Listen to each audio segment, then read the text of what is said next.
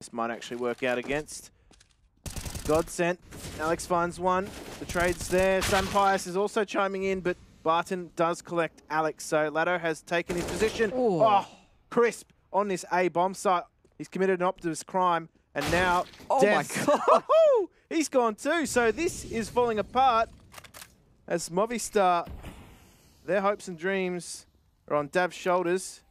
Oh, He prevents the plant. Time is ticking. 11 seconds left. So now he has to play a high stakes game of Ring Around the Rosie. And it's going to go the way of Movistar. The twists and turns continue as Godsent